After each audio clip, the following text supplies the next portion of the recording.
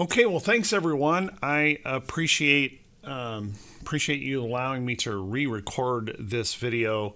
Um, had a little bit of problem the last time, and I didn't like the video.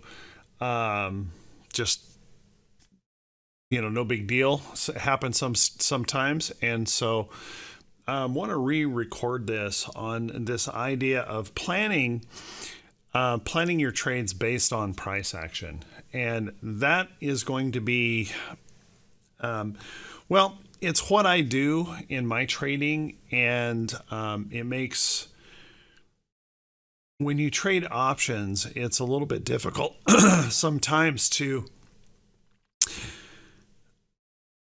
think about where to exit winning trades, where to um, um, exit losing trades, how to set those stop losses.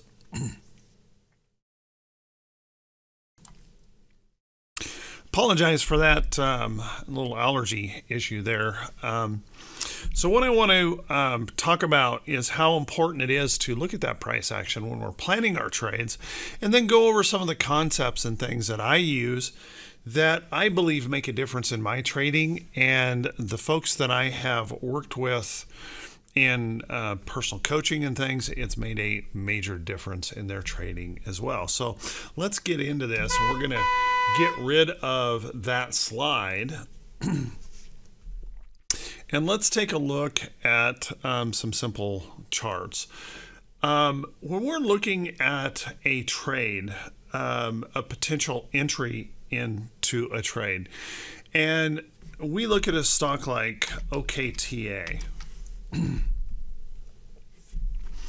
now, OKTA provided a really good potential entry here into a trade, and we actually traded this in right way options. I don't know if any of you in the room participated in that trade, but it was a very nice uh, position. It was a pretty easy um, trade to get into because we really took no pressure on the trade whatsoever. It's one of my favorite kinds of trades when you enter the trade and it's just basically immediate gratification and uh, moves in your direction um, strongly.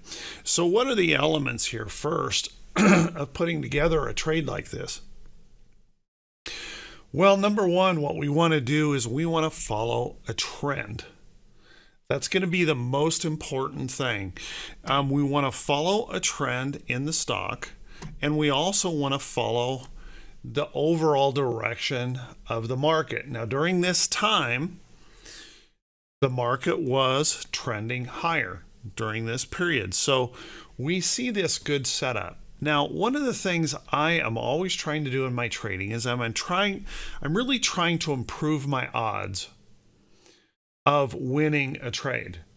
So, for example, when I'm looking at the technicals of a chart, when I see a stock breaking a downtrend, making its first higher low over here, showing buyers stepping in, that's when I want to start looking for the trade, looking for a trade. Now, I did I can tell you honestly, I didn't catch this. This was a gap up open here.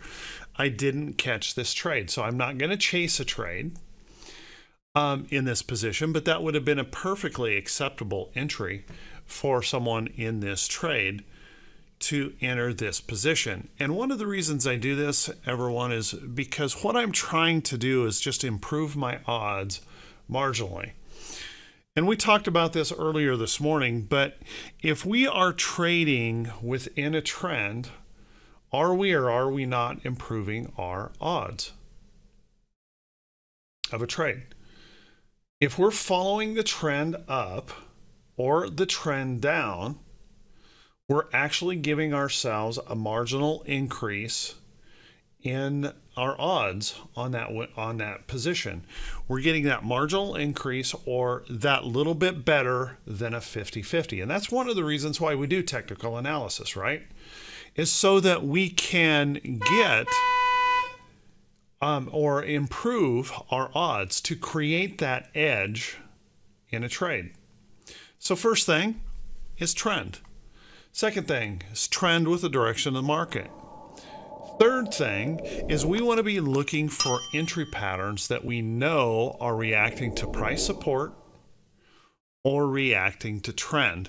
And that's why I trade basically two patterns in the market. I built an entire career doing this. We rise up within a trend, we pull back, and I have what I call the PBO opportunity. Okay, PBO, pullback opportunity.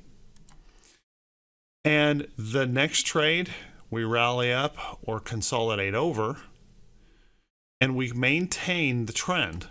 And then I look for the entry signal and I call this a pop out of the box because a rather rel relatively tight consolidation occurs, the pop out of the box. Now, these two trades are primarily all the trades that I make in the market. Now, I don't believe a trend begins until we get proof that a downtrend has been broken. And the only way we get proof that a downtrend has been broken is price crosses above, pulls back and we see buyers following through to push it on higher. That's when a downtrend is broken. And I can show you this pattern all over the charts and in every time frame for a trade. So when I'm looking then for a position, I can actually plan my trades ahead of time. I can see the trade potentially coming. One of the things that I avoid doing is I don't chase anymore. If I have, I used to chase a lot, um, way too much. So, for example, because I didn't see this trade, I didn't have a chance of even placing an alert on the position to catch that trade. Now, this one might not have been the best of trades here because my stop loss needed to be below these lows on that entry in case we popped, turned around, and came back, tested support before we went on up. That's a rather wide risk on that trade. So, may not have been, even if I had seen it, may not have been a trade that I would have actually taken. Okay. So, the, the simple thing um, that I do when I find a trade like this, or I find a chart that is doing these kind of things, breaking down trends, holding up trends, these charts go into a watch list. The watch list is where I find the majority of my trades. A lot of folks want to say or, or want to believe that the only place to find great trades is in a scan. And although I'm using a scan, to pop these trades out, I'm only scanning my qualified watch list. Now, my qualified watch list is what I say is in a price range that I can afford. Okay, whether it be stock or option, you make that decision whether you want to trade it this way. If it's an option trade, I want to check the options to make sure that there is, are options in there that um, are acceptable and what I mean by acceptable is they have enough open interest to show that there's plenty of liquidity in them. I want to make sure that there is um, enough uh, time left in the options uh, that I want to purchase, and they have good bid ask spreads. Okay. I also want to check the implied volatility to make sure the implied volatility isn't so high that I'm overpaying for my time on these trades. That qualifies a stock to enter into my watch list. Okay. Now, my watch list changes all the time, and it's changing all the time because every day the biggest part of what I do during the day is to manage my watch list. Okay. That's the biggest part of my day is making sure that my watch list is still valid. If I have a stock that does not hold here and fails, that's no longer in a possible uptrend. If the market is trending up, this stock is removed from my list. I'm not worried about it until it comes back. Don't care about it at all until it comes back.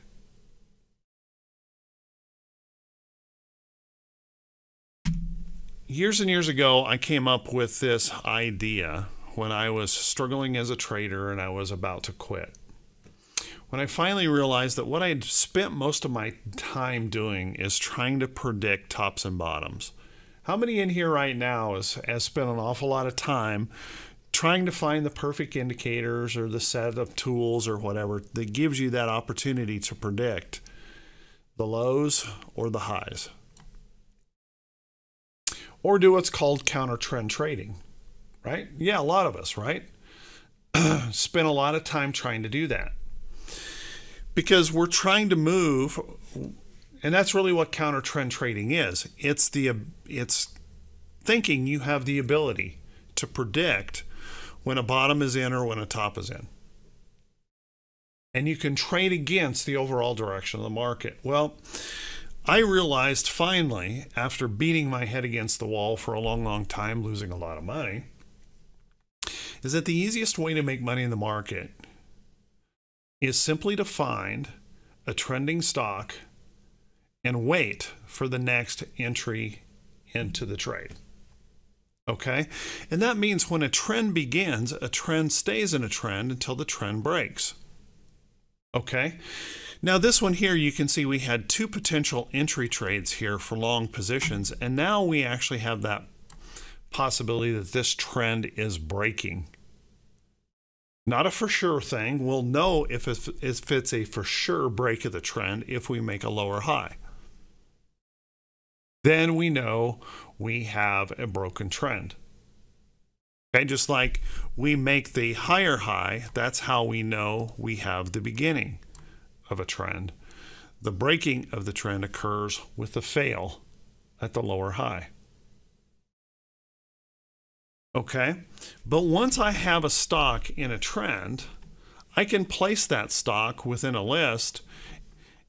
And as long as that stock continues to perform, I can trade that stock over and over and over until I get that failure. Okay, some trends are relatively short lived, some trends can go on literally for years. And this happens in every time frame of every chart. Okay. So when I find, let me ask you guys this Does it make sense to you when a stock breaks through resistance in a chart and then also moves over to a trend, so we're holding above support, that this gives us even a higher quality potential trade than this one here? Because this one hadn't broken through that price resistance. So if you were grading a trade, this might be a A or a B or C trade, okay, where this is an A trade. The highest quality that we can get. We're not only reacting to a price support level, we're at reacting to trend. Okay. Now, one of the ways that I maintain a high win loss ratio is because I'm very picky about the trades that I take. The other thing that I think makes a big difference in the way I trade versus the way a lot of folks trade is I'm not actually running a scan searching for that candle right there. I'm not looking for that. What I'm looking for is a chart in a scan. What I'm looking for is a chart within a trend. And then I put that stock in a watch list and I scan against the watch list. I'm looking for my pattern to be displayed, not a specific candle. How many of you listening right now have spent a lot of time, and I would even say years, trying to create the perfect scan so that you can catch just this candle in your trading and found that that was unproductive that you didn't get anything done doing that. As a matter of fact when the when you finally found that candle you oftentimes missed the trade because it moved too quickly. Would you guys agree?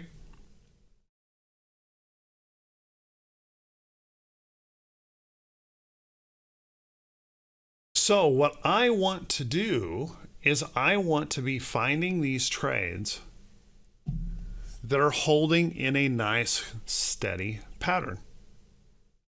Because when I see this big move up, I know that in all likelihood this stock is going to rest or pull back. It could be a consolidation or a pullback to the trend. But what I know for sure is that I can wait for the trade. I don't know what it's going to look like. I don't know how long it's going to take.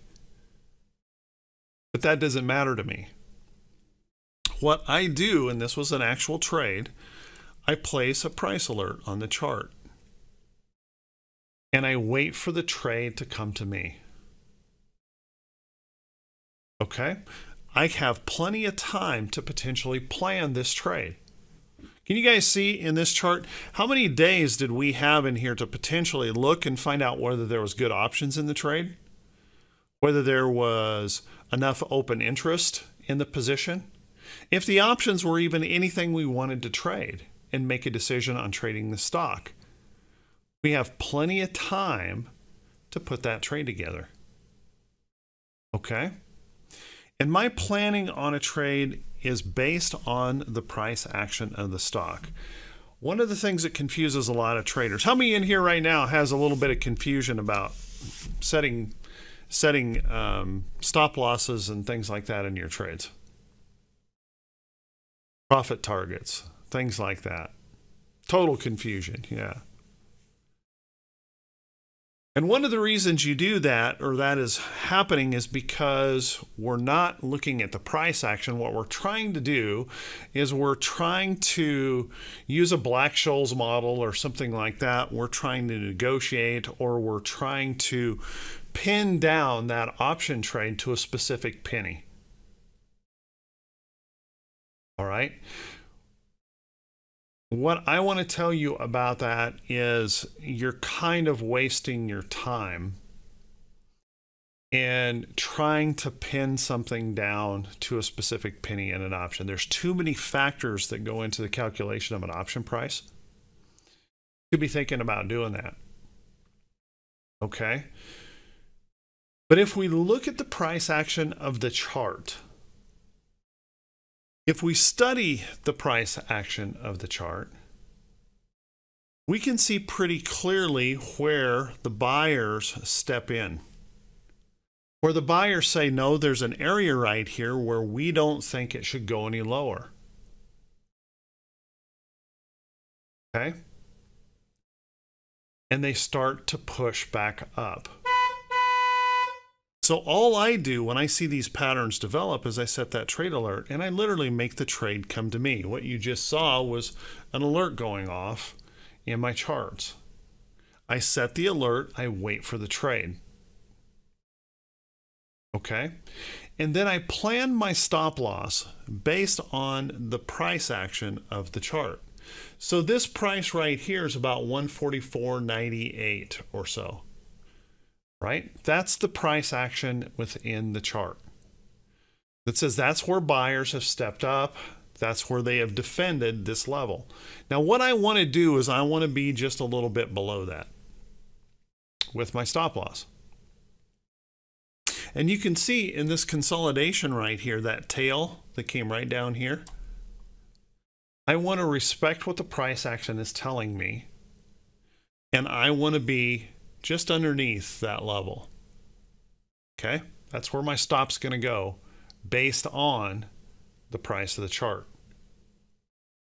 Now, it's okay with me if you want to place your stop loss right in here because we had plenty of information in here that kind of confirmed we didn't want to test that tail again.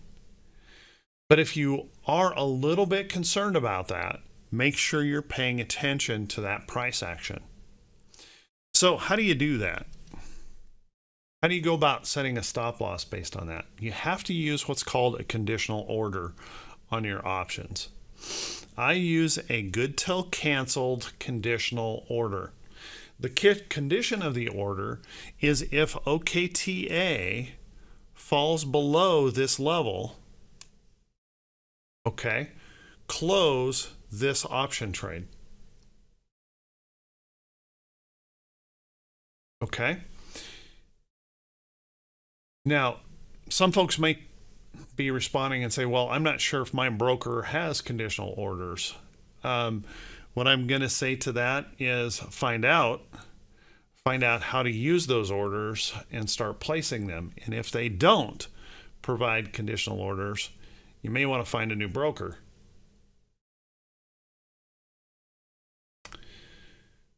Those conditional orders allow me to set a stop easily. Now, here's a thing that I think is is really kind of interesting in in a trade is if we were if we buy this stock right here on that alert which is what I typically do 155.01 okay so let's just call it 155 and if I buy a 70 delta option on that trade how much am I going to lose if I have my stop loss down here? If I put my stop loss right here at 145, okay, and I have a 155 position with a 70 delta, how much am I going to lose on that trade?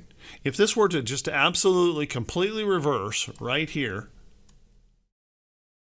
what am I going to lose? Yeah, I'm going to lose about 70 cents per dollar that the stock moves down, right? I'm going to move, lose about 70 cents per dollar on that stock moving down. Okay. Now, is that going to give me the exact number when I might get stopped out? No. But it's going to get me really, really close. If you want to get a little bit closer, you need to use something like the Black Scholes model in Thinkorswim or something like they call it the theoretical price tool to calculate a little bit closer. But here's the thing, guys even the Black Scholes doesn't have a certainty of what that price is going to be right here because volatility may have changed. How many days did it take before it hit your stop? That's a factor in that trade. Okay, so you have to think about how much you have at risk. Now, for me, if this risk in this trade is higher than my tolerance to risk, if I can't risk that much on the trade, I don't care how perfect or beautiful the pattern is. I walk away from the trade. I will not take a trade that puts on more risk than I can handle. So some folks might look at this trade and say, I can't handle that much risk. I'm not interested. That's perfectly okay to say. We don't have to catch every single trade in the market to be successful. We have to catch the trades that fit us personally. Okay? In fact, if you had your qualified watch list and you were working your qualified watch list, and this stock was not in your qualified watch list because it's too expensive for you or has too much risk,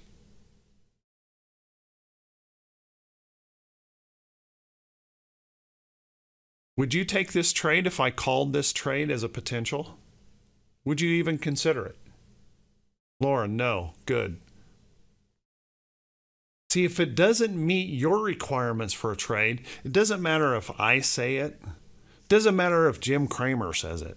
It doesn't matter if you know whoever out there provides a trade idea to you. If the trade doesn't fit you, you should not take that trade. Okay? You should not take that trade.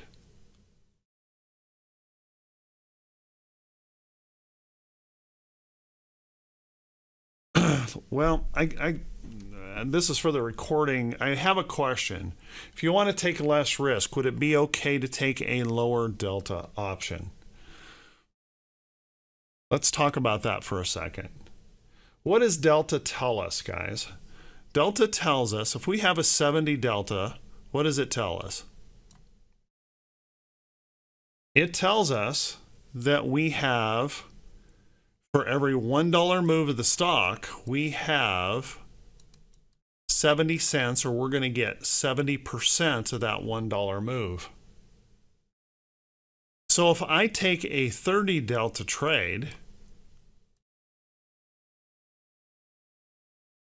and I'm going to make 30 cents for a $1 move, let me ask you this question. Um, if you're doing the technical analysis and you have a good quality setup, do you want 70 cents or do you want 30 cents per dollar?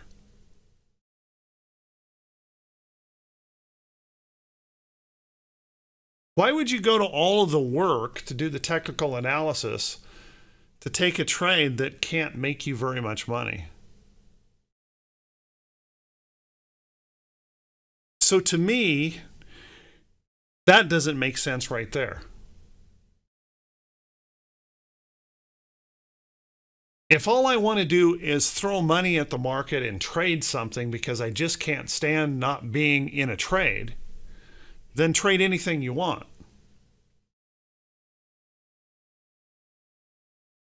Okay? But if I'm I'm sitting here doing all of this work, maintaining a watch list, following my scans, following a set of rules and a plan, why would I want to take this trade versus this trade? It doesn't make any sense. Okay, now let's talk about the other factors that Delta tells us. Delta tells us that this option here has a 70% chance of still being in the money at expiration. It's telling us that this trade right here has only a 30% chance of being in the money at expiration. Okay? So, let's follow that thought process along. If we have a 70% chance of being in the money, that means we have a 30% chance of losing our entire cost that we put into the trade. Right? Because if it falls out of the money, that 30% chance that it falls out of the money, we lose and we go to expiration, we lose everything that we put into the trade. Okay? But this position says that we have a 70% chance of losing everything we put into this trade. Okay? Which one of these trades is going to have a higher theta?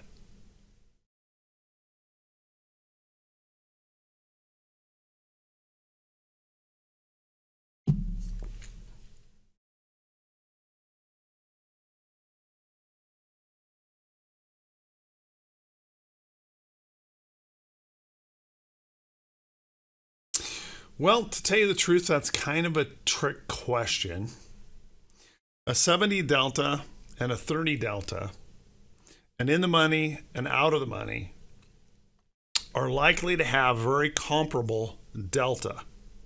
I mean, uh, theta, okay? The theta may almost be equal on that, okay?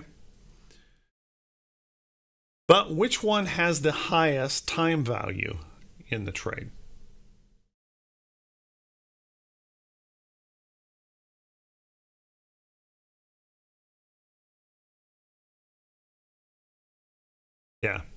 This is this is going to have the highest time value between these two trades. This one has less time value. This has more intrinsic value and less extrinsic value. This one has very little excuse me, it has zero intrinsic value. It has only time value.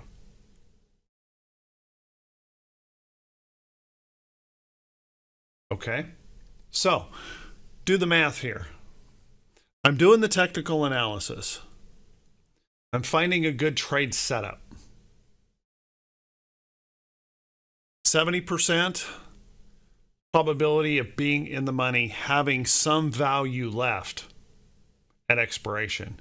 30% chance of having no value left at expiration. 30% chance and 30 cents per dollar, 30% chance of having value at expiration, 70% chance of having no value at expiration. All time value, all time value, no intrinsic value. This actually has a value associated with it. This has intrinsic value. Okay. Now, having said all of that, can you take a 30 delta trade and make money with it?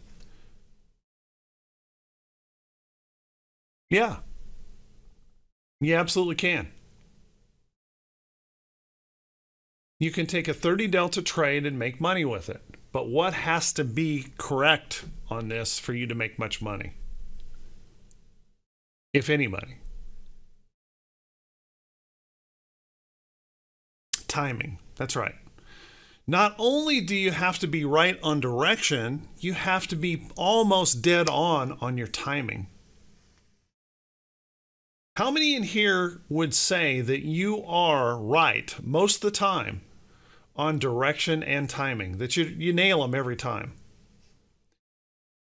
If you say that, I want to sit down and talk to you about managing um, my account because if you're that good with direction and timing, you're a hero.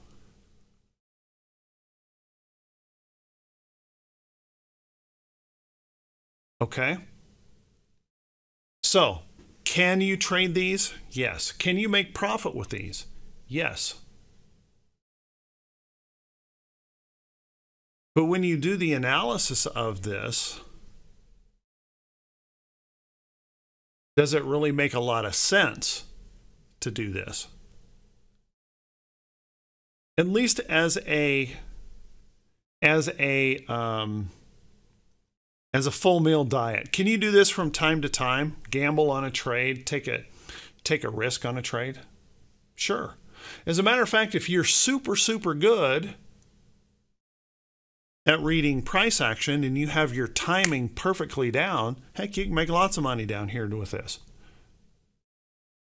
You'd make a whole lot of money up here, a lot more money up here if you're that good at your direction and timing. But you could make a lot of money down here, right?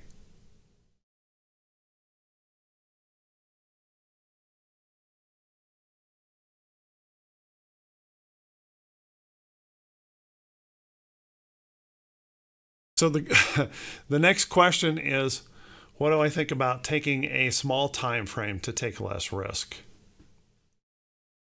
Um, I'm going to say why don't you just go to Vegas?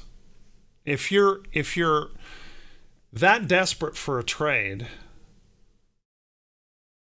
and if you're basing your entry decision based on a daily chart, why would you want to go to a 30 or 60 minute time frame to trade it. If you want to trade a 30 or 60 minute chart, go to the 30 or 60 minute chart and look for the entry and make the trade.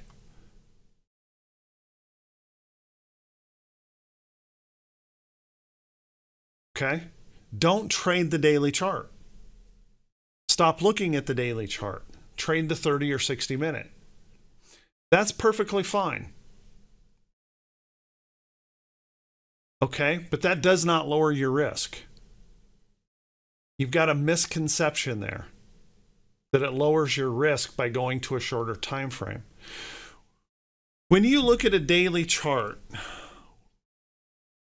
would you agree that the shorter time frame charts have more noise in them?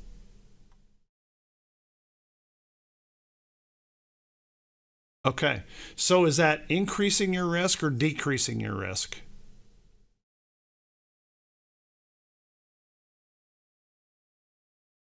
It increases your risk. So going to a shorter time frame does not decrease your risk of a trade.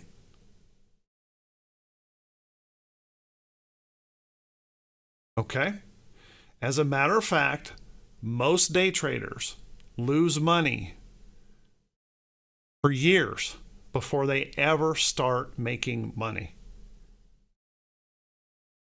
And the reason is is because you have to be so precise and so focused in your technical work on the, your trading, you have to know when to jump in and when to jump out.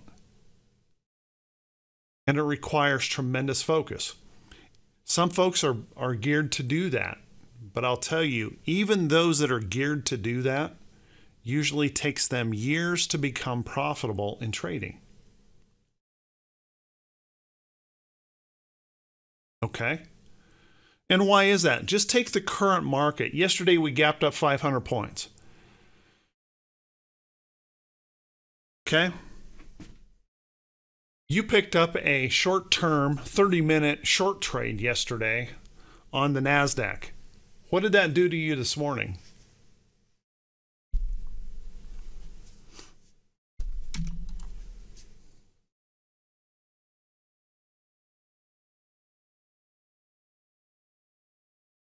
Yeah, you lost money, right? Because it gapped up. So if you're going to be a day trader, make sure you close all of your trades by the end of the day. You can't hold anything. Particularly in the volatile market that we're in right now and everything gapping. You can't hold anything because you're putting yourself at tremendous risk of the volatility that we're seeing in the market. Does that make sense? It's okay if you want to be a day trader, but focus on being a day trader. So if I were trading this, let's say I wanted to trade this on a 30 minute chart. Okay, I would be looking at the 30 minute patterns to trade this trade. I wouldn't be looking at anything else but this chart. Okay. So my entry on this trade would be based on the same patterns. We rally, we hold the support, buyers step up, this begins our trend. Every single one of these then is an opportunity to trade long.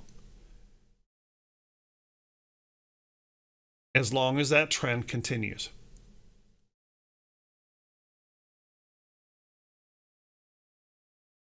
But stay focused on this chart. Don't trade any other chart.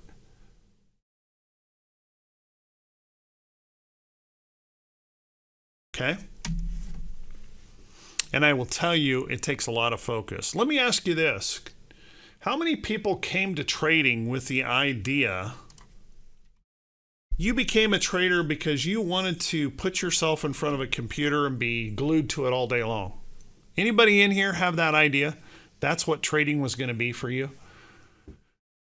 Then once you got into a trade, you couldn't get up to go to the bathroom, you can't walk away, you can't do anything. Because you are paying you got to pay so much focused attention to that to that chart because of the short time frame and the noise in the chart one news report can kill you, right? One news report, one tweet.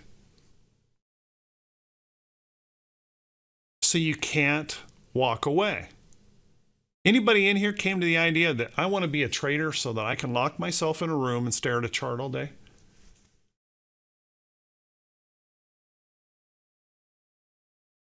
Yeah, I didn't think so.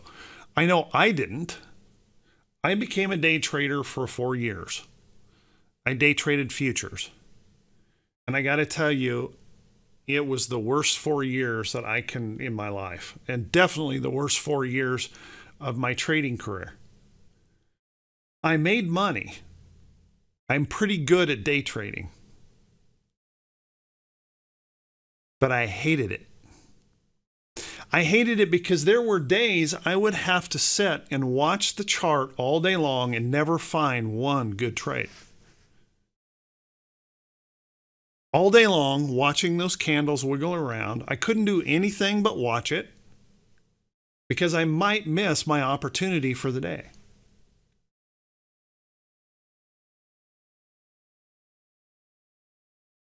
I hated it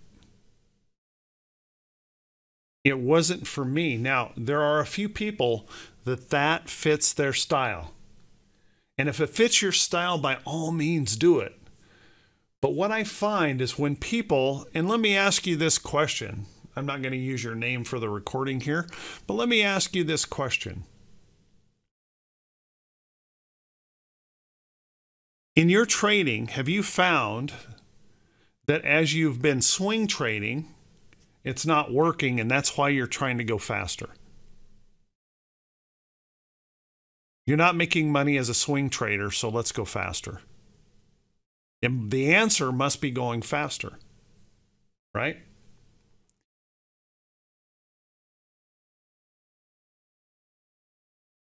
Well, think about that for a second.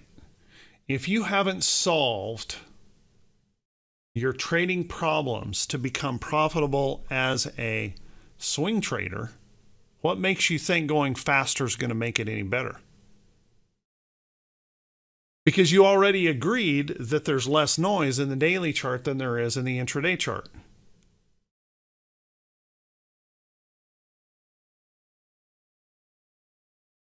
right? Here's what usually happens, and I've seen this so many times in people's trading. They open up an account, they've got lots of confidence, they jump in, they're trying to swing trade, they lose quite a little bit of money. Well, now I don't have a very big account, and I'm all beat up from trying to swing trade. And so maybe the answer is to go faster, to be a day trader. That's the answer, to go faster. Here's what happens most of those people, if you haven't solved your problems with trading, you just lose your money faster. And then their account shrinks some more. And then they think, oh, they learn about options. Well, options must be, that's got to be my savior because now I can trade this really small account and I can keep doing this with options because options, boy, that's the thing. I can use leverage now. And if you haven't solved your problems in trading, you go broke.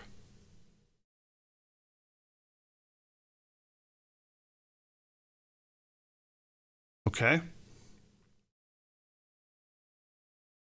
So, anyone who's thinking along those lines, I want you to think seriously about what I just said. I hate seeing people lose money. If you really have that temperament that day trading is what you wanted, that you want to put yourself in a room, focus on the charts for how many hours you want to focus on it, that's going to be your life going forward. If that's what you wanted trading to be, then by all means continue to pursue that and work at it really, really hard. But I'm going to ask you to do something. I'm going to ask you to shut off your real account, open a paper trade account, and prove to yourself that you can win more trades than you lose intraday trading those quick time frames before you risk your money. Prove to yourself you can do it. Does that make sense? If that's really what you want to do. And I'm talking about doing some serious trading. I'm talking about sitting there for a month or two months or three months, day trading, and prove to yourself that you're you've got the temperament, the emotional makeup to be able to sit there and focus that long to make a few trades a day in doing it. Okay? By the way, I will tell you if you day trade stocks, there's tax consequences to trading stocks, particularly with options. Okay, because you have to match all of those trades up. Your bro or your um, your tax accountant is going to love you at tax time because you're going to have great big huge tax reports because you have to match all those trades.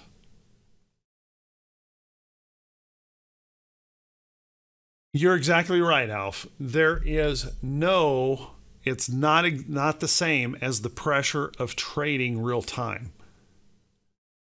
All right? But the reason I bring that up, Alf, is because so many times people go over there, and even though they don't have the emotional pressure, they're still not profitable paper trading. It's good to know that, right? Before you try to go live day trading. Okay. What does have to happen, okay, if you want to be a day trader, is you have to be able to make those decisions on trades instantaneously. You cannot hesitate. Okay, because the time frames are so short. Okay, so you have to be able to know those trades, see them, execute them, and move through the progression of that trade without hesitation. That takes some time and practice.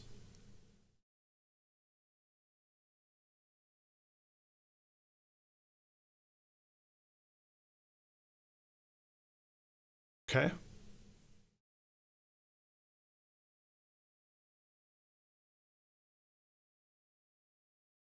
Uh, Jojo, that's not true. If you were listening before, you use what's called a conditional order. A conditional order allows you to set a stop loss based on the price of the stock, not based on the option price.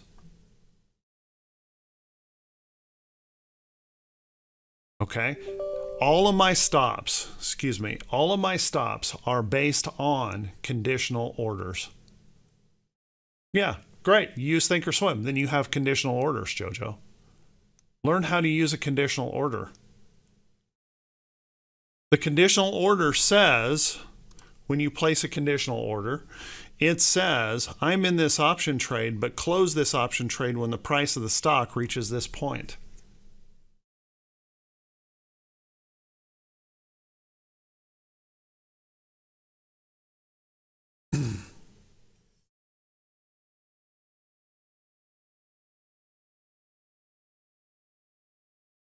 Okay, it's a conditional order. They're easy to do. All right. You can set, and, and, here's another thing that people do all the time is they set limit orders, stop um, a limit order on an option trade. Anybody set a limit order on an option trade and get stopped out way faster than you thought you would have?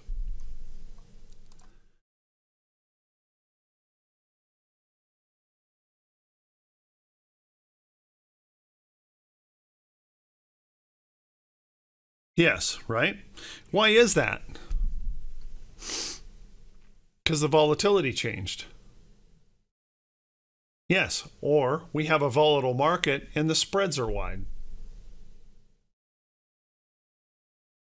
So you could plan the perfect stop loss to a specific point. At least you think it's perfect, and then get stopped out before you should have been stopped out. Because the calculation of the option price changed. The volatility of the market changed. Something happened in that calculation. And not even the Black Scholes model can give you the perfect number of where that is.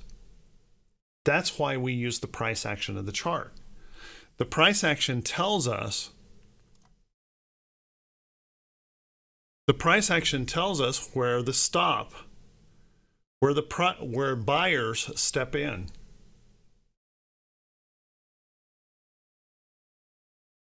Okay?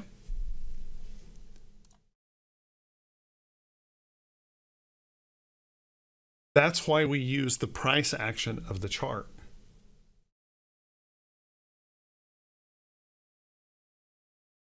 Okay? And it's really, really simple to do. Here, I just open up a paper trade. Let's say I want to um, um, let's do this. The SPY has broken down a little bit this morning, broken in the gap. It's rising up right now. And this is just, there's no quality trade here, guys. I want you to know that. I'm just giving you an example. I come over here, and if I'm going to buy this trade, you guys know that I'm going to come out here, and, and this would be kind of a day trade for me. Let's say I wanted to do a standard standard short. I'd probably go to my July contracts here. And if I think the market's going to fall, I'm going to come down here somewhere between 70 to 80 deltas, and I'm going to look for a good open interest trade. So I'm good in here. Don't like the bid-ask spreads, but I'm going to go ahead and buy this, and I'm going to try to negotiate my entry into that trade. Okay, so I'm filled on that SPY position. So I'm filled on that put. Now I need to find out where I want my stop loss placed. So I'm going to go over here to the SPY and I'm going to say on this trade, I want my stop loss up here at 302. 302, I'm going to be wrong on this potential short, right? I'm going to be wrong. So I want to be out of that trade. At 302. Stock will push up. That's going to be a bullish move. I don't want to be short anymore on that trade. So I'm going to come over here, go to that SPY trade, right click, say create a closing order. All right, and then I'm going to go to my order rules right here, that little gear. I'm going to change it from a limit price to a market price. It's going to be good till canceled. I'm basing this based on the SPY, that the SPY at the mark price, which is the center between bid and ask, the price is going to be less than or equal to 302. Okay? And I'm going to say save. Now, when I hit this confirm send, look at the order. The order says sell once by contract. Okay? Sell it on this condition. If the SPY mark price is at, whoops, I've got it backwards. At or above, sorry. There we go. If the SPY price is at or above 302.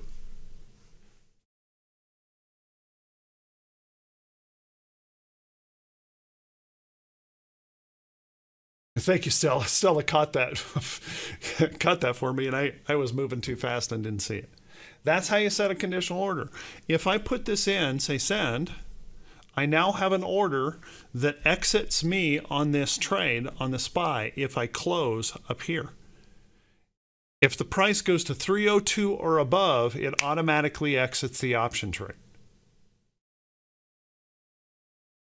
In fact, if I go to the chart in Thinkorswim, it even shows me that.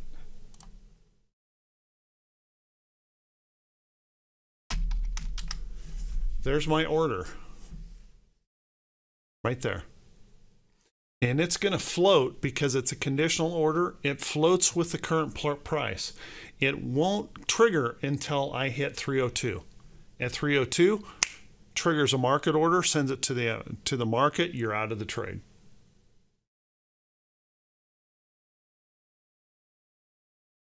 Okay. You can see I don't use my charts on Thinkorswim. Now let's say I want to set a profit target. So I'm in here. Let's say I say we drop down into this gap. Let's fill this gap in here and I'm going to come up. I don't want to try and catch every penny in it. I want to front run that gap a little bit, meaning I want to take it out before I reach that complete gap fill. Let's say I want to um, close this trade and I want the target to be, let's just use um, 287 for the target. Okay. The same way, I'm going to come over here into Thinkorswim. I'm going to create another closing order on the trade. That would be a buy order at to buy it back at to close this position or excuse me sell this position at 380 or 287 so i'm going to come over here sell market good till canceled. You can leave it for the day. Typically, I use my profit targets as good for the day so that I can adjust them the next day if I need to. It can be a good till canceled, but it could stay a day. At the end of the day, that order cancels. You guys know before the market opens every day, I go in and readjust all of my orders. So if I need to readjust, it automatically cancels that order and I replace the order so I know exactly where it is for the day. Okay, symbol, method, less than or equal to 287. Okay. Save that. And it's going to sell this position if the SPY is at or below 287.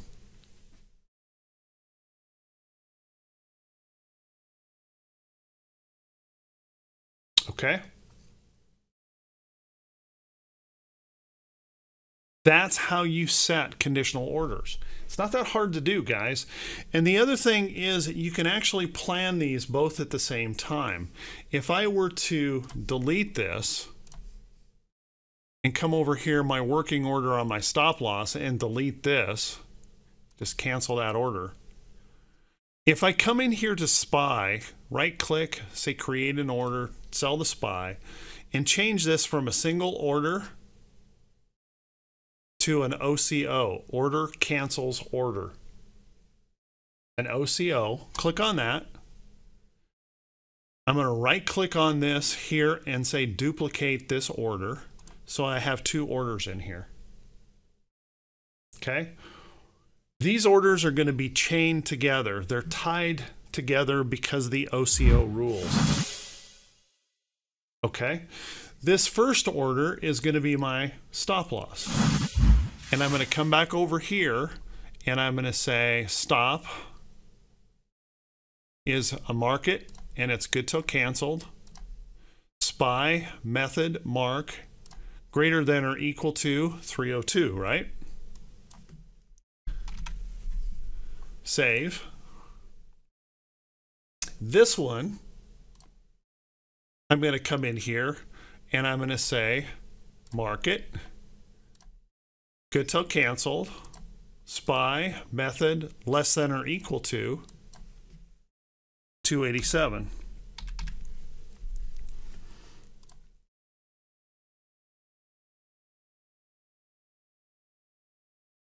Okay, so if I right click on, or I go ahead and hit confirm send on this, this order says close this trade. If it drops below if it's at or above 302, or if it drops below 287, close this trade. So both of those are on at the same time. I can say send.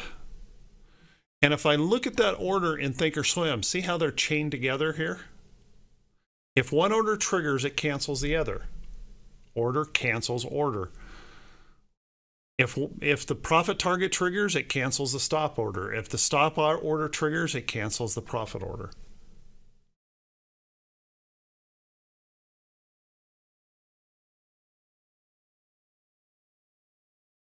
And that's how I set my trades. Okay? My trades are always going to be based on the price action of the chart. So when we look at OKTA, the price action of the chart says my stop is down here. I just set a conditional order to close it if it drops below there. If I have a profit target of X amount that I'm trying to reach in here, I can automatically set that order to close that trade. And now I've got a profit target and a stop loss all at the same time. And by the way, guys, this is how my order set in the market.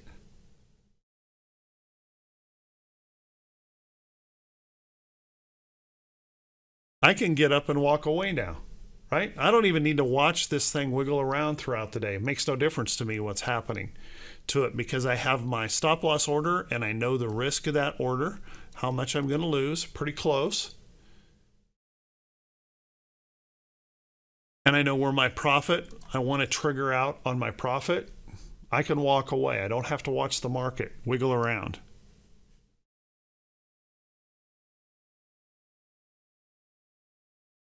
Yes, T, I do. I update my stops, and like I said, every single morning before the market opens. I evaluate each position that I'm in. Okay, so for example, this morning, if you look up in the alert section, before the market opened,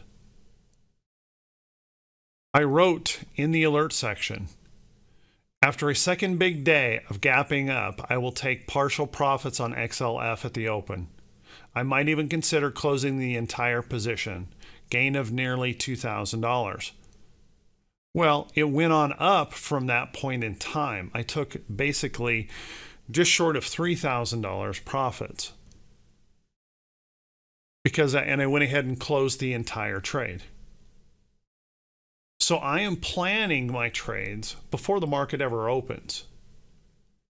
My orders are already set before the market opens so that I can close those trades. Now, I made the conscious decision this morning because we were still trying to push in the futures before the market opened to take the order off to sell it automatically.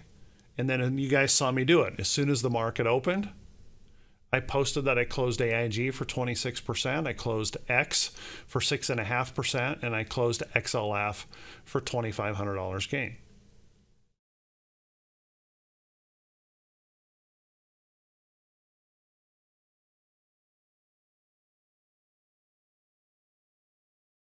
I don't necessarily revise my stop loss every day, Alpha. I don't necessarily re revise it every day. Okay, because let's say you happen to enter, you saw this pattern, but you went right here and you ordered, went into that trade on that candle. Did that justify adjusting the stop loss that day? No.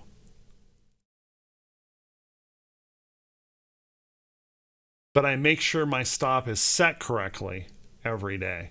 I won't necessarily adjust my stop every day. Let's say you entered on this candle right here. You got into this trade, you had a had an alert right across this area. Boom. You got triggered into that trade. The next day, I would probably adjust, at the close of the day, would probably adjust my stop loss from down here up here someplace. But look at the following day. Would I adjust my stop loss that day? No.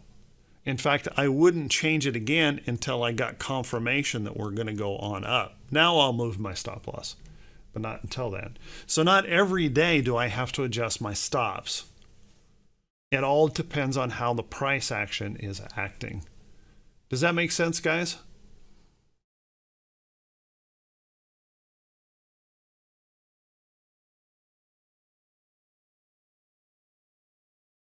Remember, everything I do, everything I do in my trading is based on the price action. It's not based on an indicator.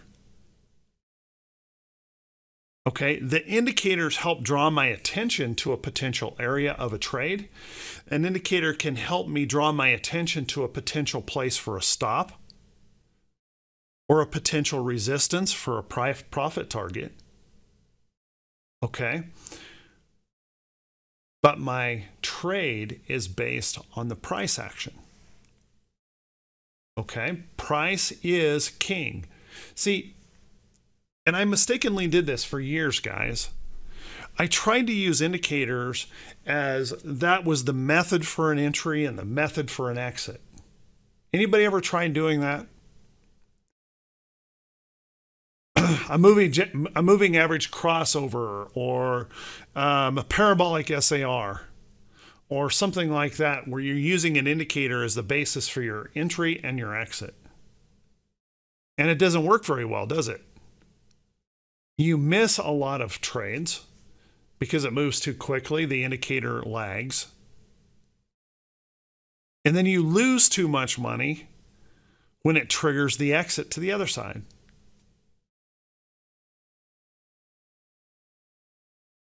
Okay, you give back too much or lose a lot of money on the trade. So here's what I know, guys, about trading options, and this is about as simple as it gets. Options are tied, directly to the price action of the stock. The only way I can make money is if the price action moves. I can't make money if I don't get movement in price. I can have movement in indicators, But if I don't have movement in price, I can't make any money. So all of my trades, entries, exits, and everything have to be based off the price action of the chart. Is that making some sense? Why I do it that way? It doesn't matter whether it's a stock trade or an option trade. We make money with options when the price moves. We have to base our option trading on the price action of the stock.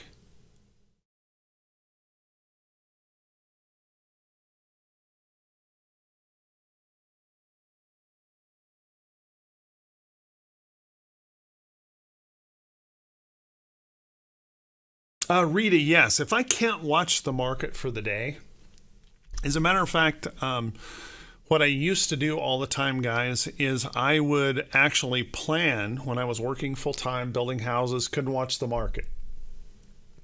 If I, I do it still today, if I have to leave and I got an appointment, see the doctor, whatever um, I've got to do, then I will place an order conditional order to enter me into a trade if I cross a certain area. Okay.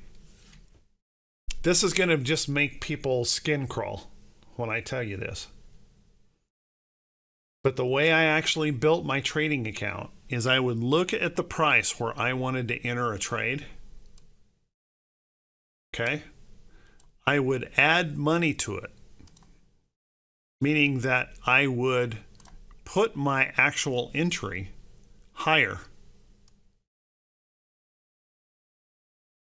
than the close of that candle. Okay? Because I can't watch this intraday. I can only base on what happened yesterday, right? So I would add money to it. The reason I would add money to it is I wanted an assurance that the stock was moving up before I got triggered into the trade.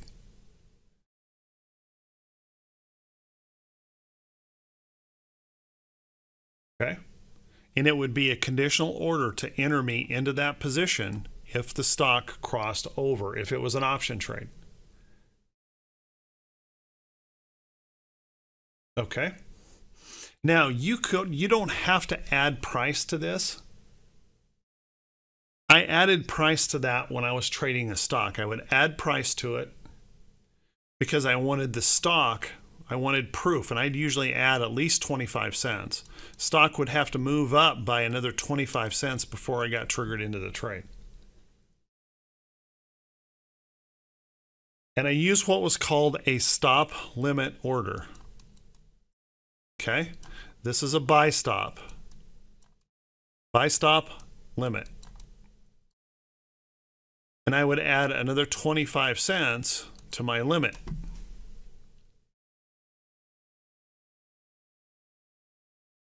Okay. What that did is it made sure it gave the instructions to the broker to fill me within this small space. If I didn't get filled in this small space, I didn't want it. Because, the way I learned this the hard way, is on a day like today. Okay, I didn't put in a buy stop limit order. The market gaps up here, creating a whole lot more risk in the trade for me, and then the stock pulls back the rest of the day.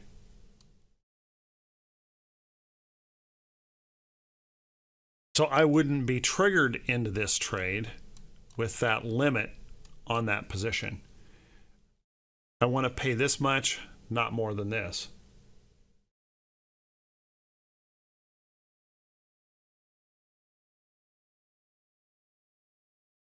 Does that make sense?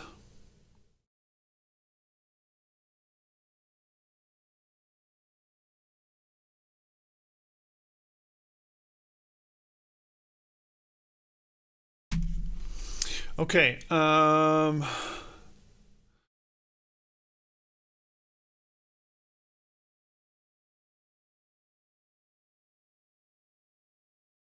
okay. Um, Seahawk is asking, where would I set my price target. Okay.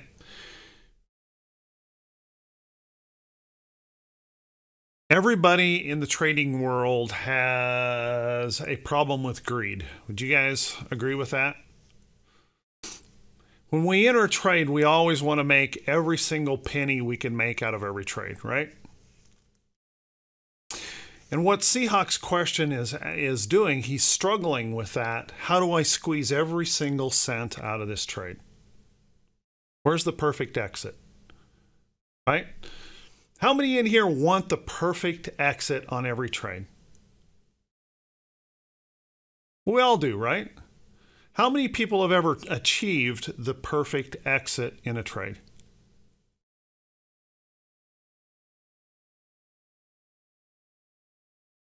I would tell you in the 30 years of my trading, almost never do I achieve the perfect exit in my trade. So my short term trades are based on profit targets that I try to achieve in a trade. My profit target comes down to my goal. What am I trying to do? What's my goal? So, my question to you, Seahawk, is what's your goal on a trade? I get, you know, when I work with a lot of people from all over the world in coaching, and and I ask, you know, what are you trying to achieve in your trading? And what they say all the time is, well, I want to make money. Well, who comes to trading that doesn't want to make money? But how many traders actually make money? Not very many. And particularly not consistently. How do you solve that problem? Figure out what your goal is.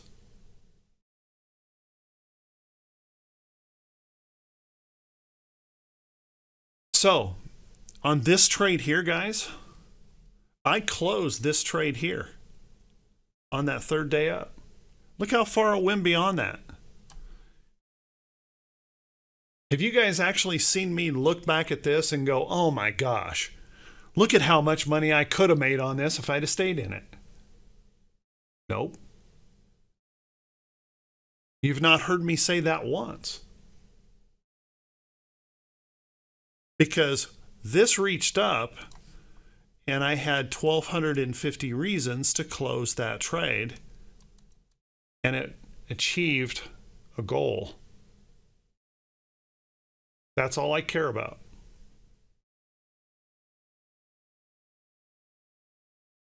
Isn't it true, Seahawk, you beat yourself up? When you look back and you go, look at all this money I left laying on the table, and you don't even congratulate yourself for growing your account. As a matter of fact, what you've probably done is trying to squeeze every single penny out of the trade. You've actually end up taking winning trades to losing trades, trying to stretch it out.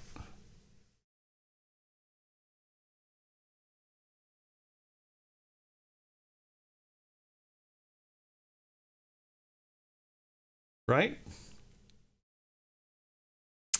So I trade to achieve my goals.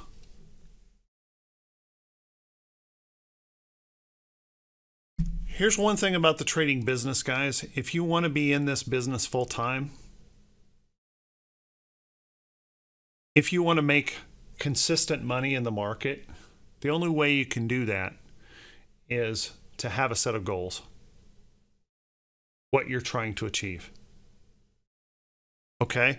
Because I don't know about you, but when my bills come in, my bills come in consistently, same day every month, and pretty much the same amount of money every month. I know if I'm going to be full time, if I'm going to pay my bills, feed my family, move things forward, and actually make some fun money in here, I have a certain dollar amount I need to be working for. But see, most people don't think about that. All they want is I just want to get I just want every penny I can get. I don't care about that. I want to make sure at the end of every week, at the end of every month, that I am reaching my goals. Does that make sense, Seahawk?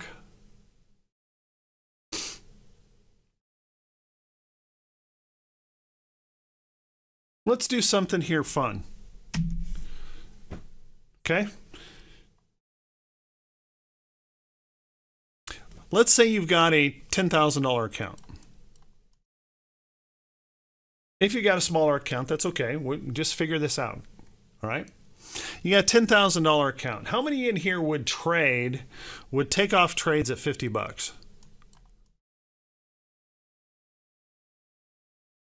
I get so many people that say, no way would I take off a trade for 50 bucks.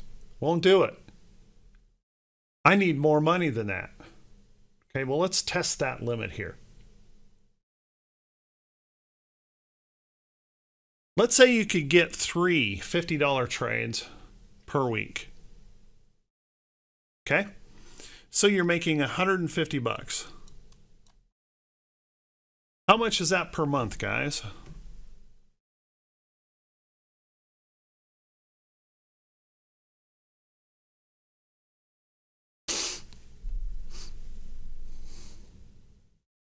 Yeah, 150 a month.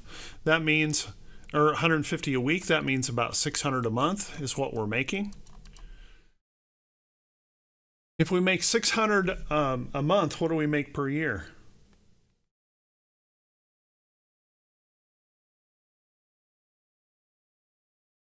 Okay, $7,200. Is there anyone in here anyone in here that would say a 72% return sucks?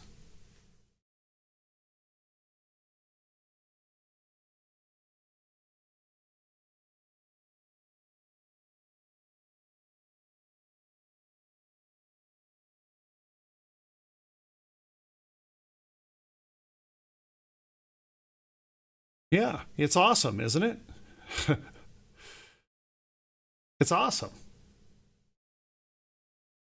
But how many times, show of hands just by typing a Y, how many times have you guys with a $10,000 account or less have let $50 just blow right by, didn't take it?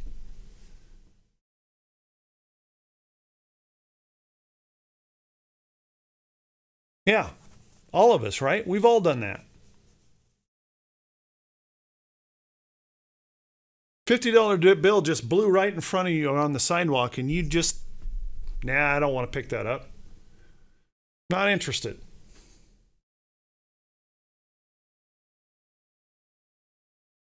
Well, what happens when that occurs? How many how many of you right now would say, "Man, I wish I had all of those back"? What how different would your account be if you had those back? What position would you be in now in your account if you had those $50 bills back?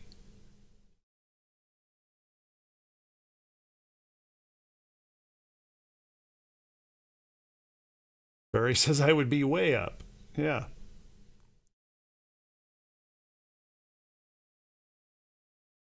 And Tim says, yep, plus I can move on to a new trade instead of watching this one. You know, Tim is exactly right. How many of you, when you get up in a trade like that, spend the whole day watching your brokerage account as it ticks back and forth, or watching a candle as it ticks back and forth? That's a waste of time, isn't it?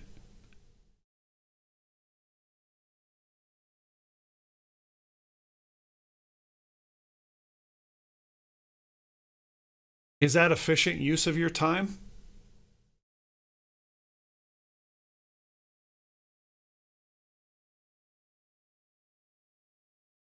Yeah, Tim Tim says it right that it's not even healthy. Yeah, and then you end up closing it for a smaller profit, right? Take a look at the example of AIG this morning. Market gapped up. I didn't even think twice about it. I closed the trade. Now, AIG could be higher today, wouldn't make any difference to me because I made my profit. Okay? Just turned out that it actually lost money today. So I'd have given back money if I'd have been sitting here since the open trying to squeeze every cent out of it.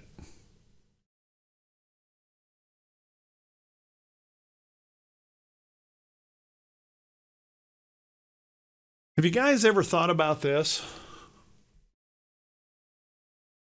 If you want to be a winning trader, if you want to have a strong win loss ratio, that you're actually handcuffing yourself to never having a strong win loss ratio because you refuse to take a profit. Is it better to have a $10 win or a $10 loss? A $50 win? A $100 win? Who wants another win in that column rather than another loss in the loss column?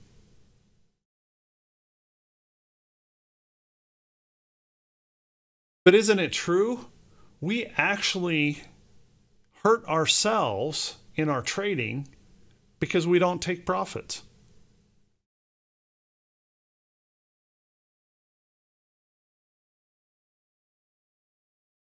Isn't that amazing when you think about that? If I want a strong win loss ratio, I have to start taking profits.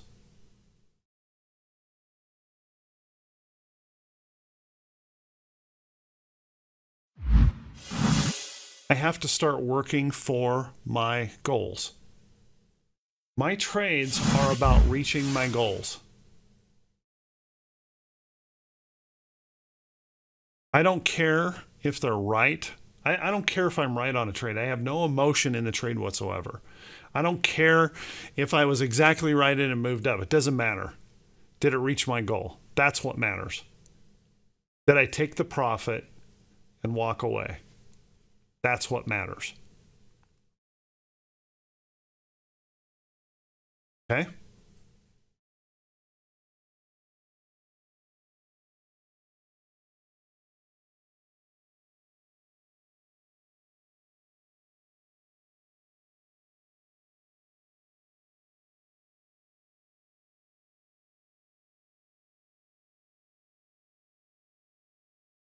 Nice, Tim. It's a good thing to learn, right? taking those profits. It's just it's a it's amazing how liberating that is too. How many of you guys took profits with me this morning and then just felt like, whew, hey, this is a good day. Right? Heck, 10 minutes into the market open, I said, who wants to just take the rest of the day off?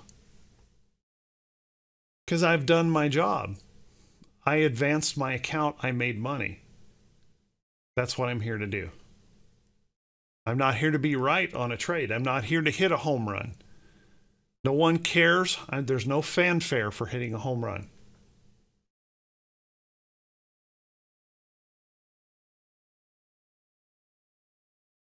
All I can do is just continue to do the simple, easy trades, pulling money out of the market, staying consistently profitable by taking my profits, taking those wins.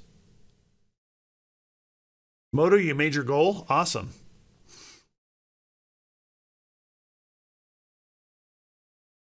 Awesome.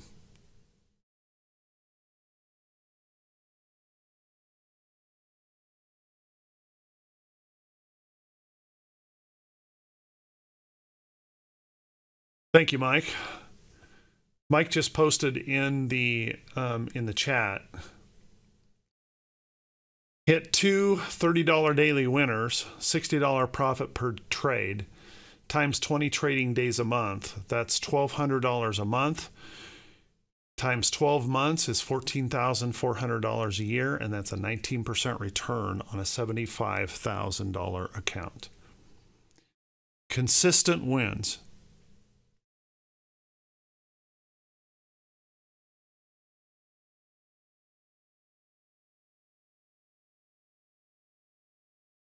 That's what makes the difference. Consistent wins. Little tiny trades, and it doesn't have to be little tiny. Here's the thing, guys. All Mike has to do to to double that up is when his account grows a little bit more, is start making those $60 winners or $120 profit per day, and he's doubled. Okay, you don't have to be any kind of superhero to do this. But to get back to the topic here, all we have to do is plan our trades based on price action, even as an option trader. Does that make sense, guys? Do we get through that point that if we if we follow price, that's how we make money? Would everyone just agree to that? That the only way we can make money is if price moves, and if we just follow price, we improve our odds of a winning trade.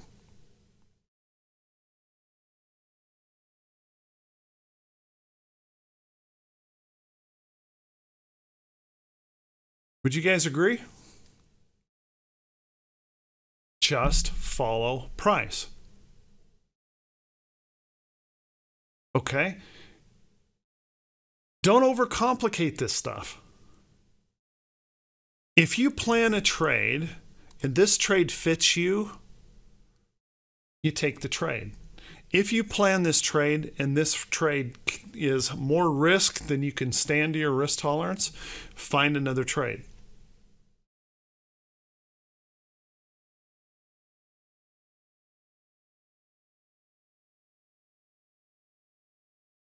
If this trade, you enter this position and you reach your goal right here, should you feel guilty about taking that profit?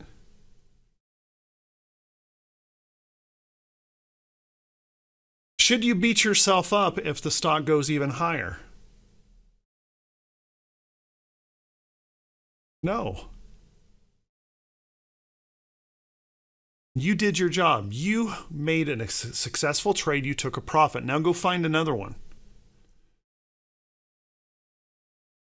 Don't waste your time on coulda, shoulda, woulda or watching a candle wiggle around all day. It's a waste of time. Think about think about how much time, guys, we have wasted as traders over the years staring at a candle, watching it wiggle around. What's even worse, going over here, staring at a 15 minute, watching that wiggle around.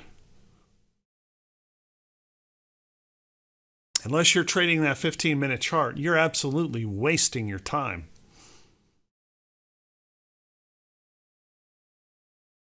Our job should be find the next trade. We made a successful entry and exit. We made money. Find the next trade and do it again and do it again and do it again.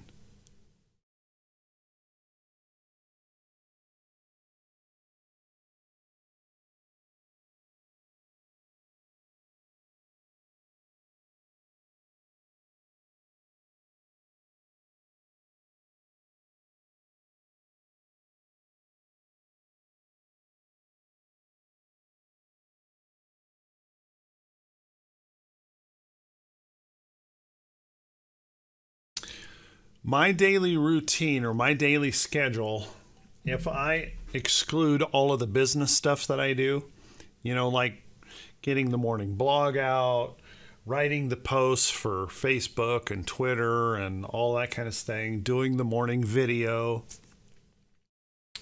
all of those things. The first thing I do in the morning, I evaluate the market the market condition. Okay? What should I be doing? How should I be prepared for today? What's happening? We're reacting to news. Is there a giant gap? How should I be reacting to this today? So, my first thing that I do every day is evaluate the market condition and try to apply that to how I want to be involved today. or if I want to be involved today. You guys have heard me come on here before and say, yeah, not interested in trading anything today. And I hold to that, right? I don't trade anything. If I if I've made that decision, don't trade anything. I don't have to trade just because I'm here. Okay? The next thing I do is I evaluate every position that I'm in. Because things change overnight, right? Like the last couple of days, these big gaps up things change overnight. So I evaluate every position I'm in before the market opens. I bounce it against my trade plan. What was I trying to achieve here? Am I reaching a goal? Is it hitting, coming close to a stop loss? What's going on? Do I need to adjust my stops up because the trade's working? Do I need to just close a trade at the morning because it gapped up? What happened today, right? Market gapped up. I had great profits in these trades. I'm just closing them. I'm out. I make those decisions before the market opens. Okay. The other thing I always do, guys, is I ask myself one question. And I do this every day. And I know it sounds hokey and weird, and, and that's okay. I don't care.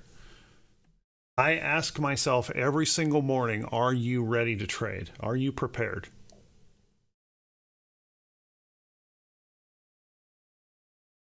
How many of you come to the market and you're sick that day and tried to trade and lost money? Or you came to the market that day and you didn't get any sleep last night and you lost money?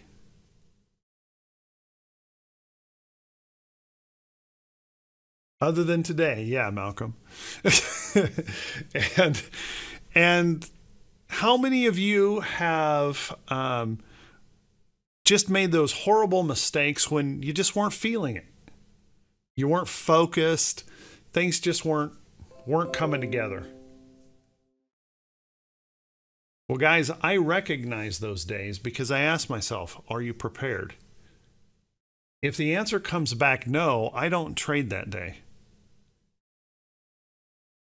if I haven't slept, if if I don't have fights with my wife much anymore, but if if um, we had some kind of dis, if I'm upset, if I'm worried about my kids, if I'm um, something is really taxing me in some way or another, I didn't sleep, I'm sick.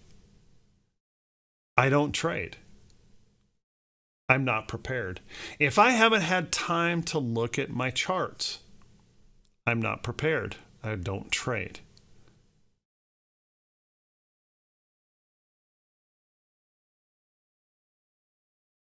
Uh, that would that would be a good reason, Lauren. Yeah, that'd be a good reason. No sleep, right? So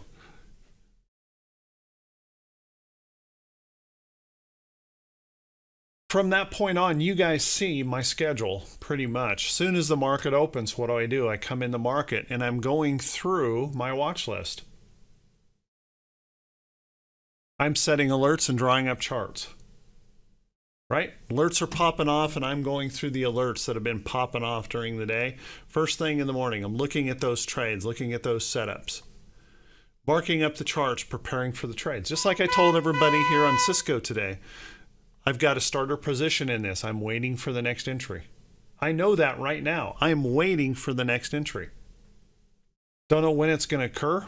I don't care when it's going to occur. I'm going to wait for it. Don't know what it's going to look like. I'm going to wait for it. Okay? I'm doing that every morning.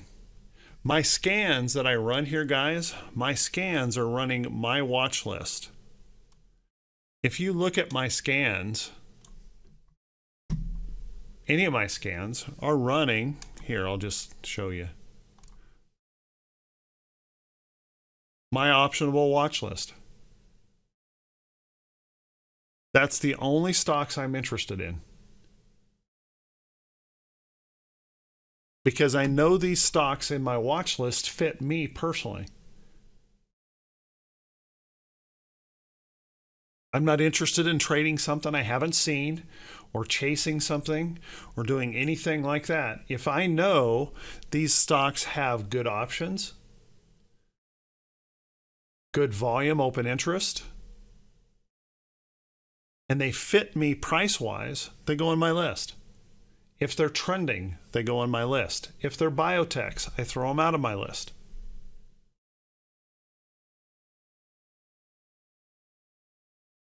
Okay? If they're extremely volatile, out of my list. If they fail trend, out of my list. And all day long, you guys see me do this. I'm going through these charts marking them up, setting for setting up potential trades. What I do every day, every single morning. When was the last time you guys saw me? The first thing that I do is just sit there and stare at my brokerage account. You guys know since I made those closing trades this morning, I've not looked at my brokerage account since?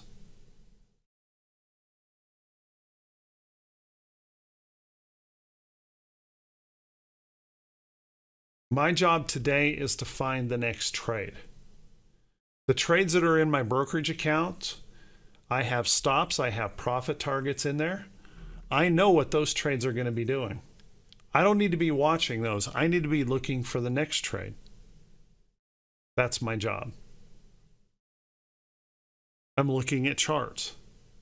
I'm marking them up, getting ready. Midday, I do the same thing. I finish up here with RWO. Midday, I'm going to be looking at my charts again. I'm going to be looking through my scan. Now, before LTA, I would actually flip through my watch list, completely flip through my watch list three times a day. You guys saw me do that as well. I went through every stock in my watch list looking for those that could be setting up, something has changed, whatever. I'm not waiting for a scan to bring me a potential trade. I'm following the charts.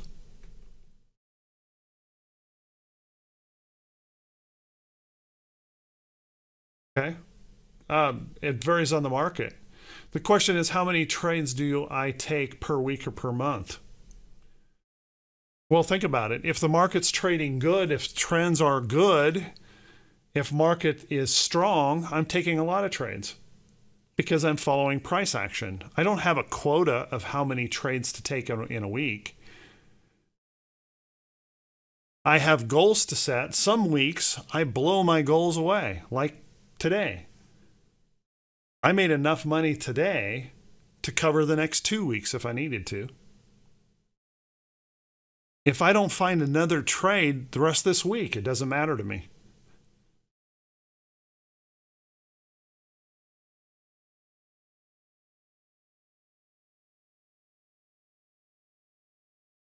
Okay?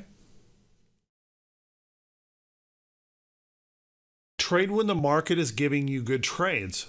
When the market is not giving you good trades, back off.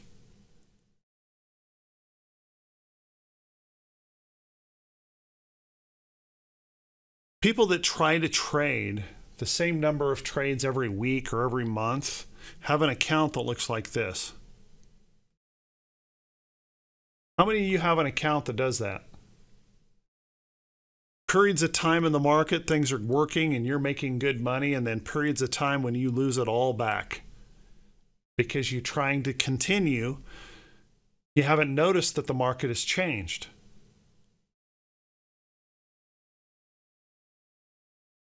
And you give it all back. And then some.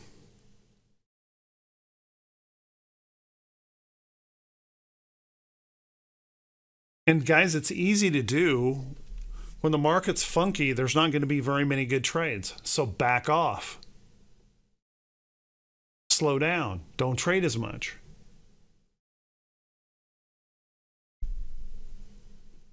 Okay? It's okay.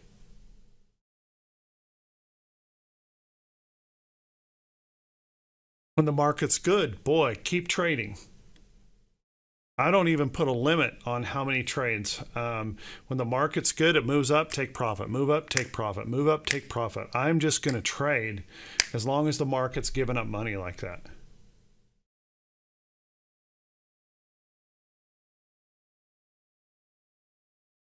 Okay.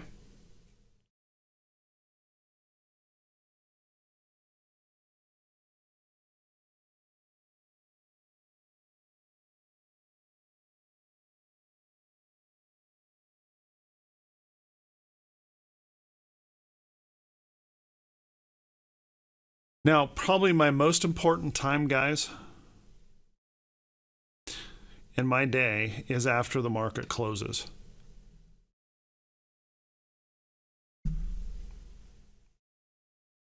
I require 30 to 45 minutes minimum every single day after the market closes when I don't have the distraction in the room, alerts going off, or any of those things to look at my charts.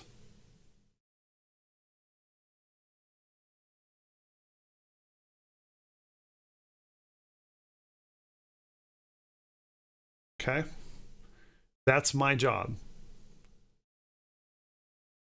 Yesterday, finished up with trading. Um, we finished up with RWO. I did a coaching session. Going to have one here this afternoon, another coaching session to do. Okay. I'm going to do a coaching session. I close up the market for the day. I do a workout. Last night, I finished my workout. It was about a uh, an hour long lifting workout, and then I walked four miles. I came home, I had something to eat, I went out and mowed the lawn. I came back inside, I sat down, and I spent 45 minutes in front of my charts. Every market day, I am preparing for my success. I'm not asking someone to give me success. I'm not asking for a scan to give me success. I am preparing for my success every single day.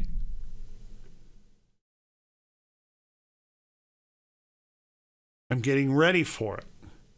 You know, anytime I have get together with Mike, and we haven't been getting together as much with COVID and all this stuff going on, but I'll ask Mike, what are you doing to, this afternoon? Well, I'm going to go home and look at charts.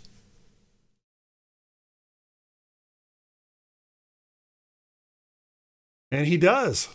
He's not just pulling your leg. He'll turn on a baseball game and with no sound. It's the only guy I know that'll watch a baseball game with no volume or a football game with no volume. And while he's watching the game, he's looking at charts. Every day. He's preparing to be successful. That's the job of a trader, guys. And I hate to say this, a lot of people don't like to hear this, but sometimes you have to put in some overtime. You got to put in the work.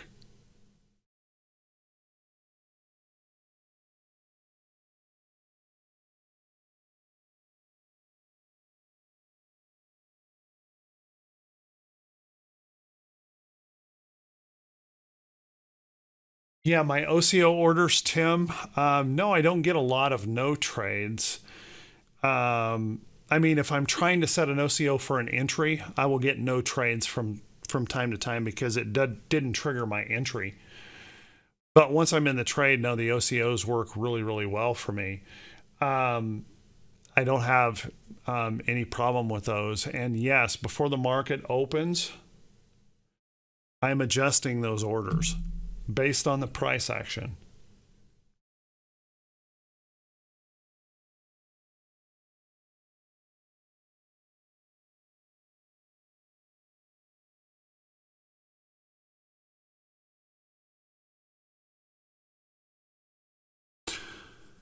Oh, I'm not replacing the 3A trap, Rita. It's just that in the last two months, I uh, on Thursday or on Friday, I'm teaching the 14th class in two months. I'm taking a break from it.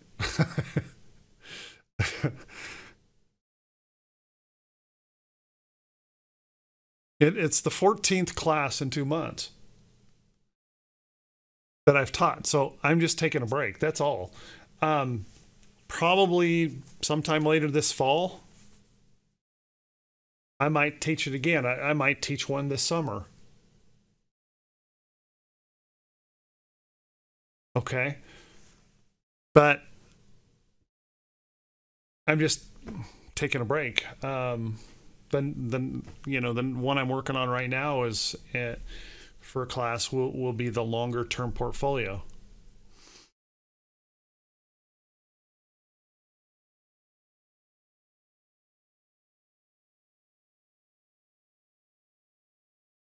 Okay.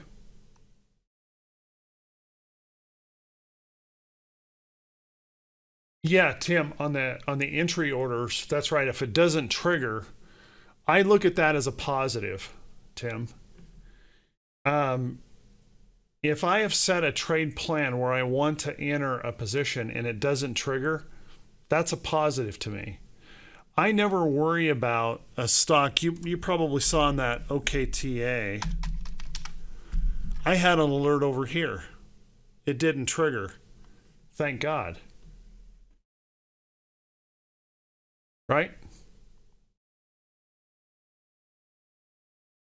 I plan my trades, and if it doesn't trigger, I don't care. I have no emotion invested in the trade whatsoever. If if it doesn't do what I want it to do, and it falls apart or fails, I look at that as a good thing. I set my order correctly. I didn't get filled. Awesome. That's what I want. Okay. But if, let's say I set an order to enter on this alert and I set that order on this day, that order doesn't fill. The next morning, I reevaluate. Do I still like this trade? Is it still setting up? Yep. Okay. Reset the order. And I just repeat it over and over until I'm either filled or the thing fails. I no longer want it.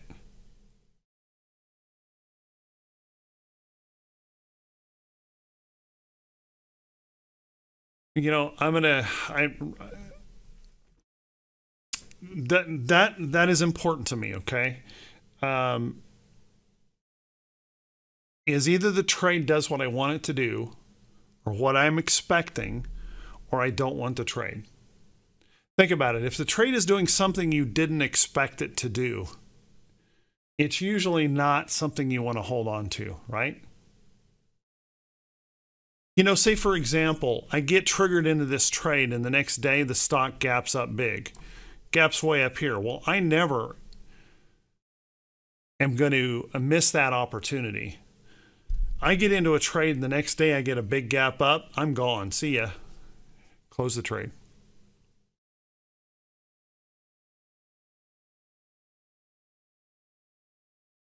So if it, it if it reacts other than I expect, um, I usually want to get out of the trade. Don't want to be in it. So if I don't get a fill, hey, perfect. Perfect. I did my job. Okay. Cool stuff. Well, hey guys, I'm going to stop this recording. This is a really long video, um, but hopefully you got something out of this today. Hopefully you picked up some information here that made some sense to you um, and can help you improve your trading. Okay? It's just, most of it is just common sense, right? Most of it is just common sense. Thank you, guys. I appreciate all the kind words. I appreciate it. Um, I'm going to go ahead and stop this recording. Thanks, everyone. Um, and I will get this uploaded to YouTube when I get a chance. Um, but thank you so much. I, I truly, truly appreciate it.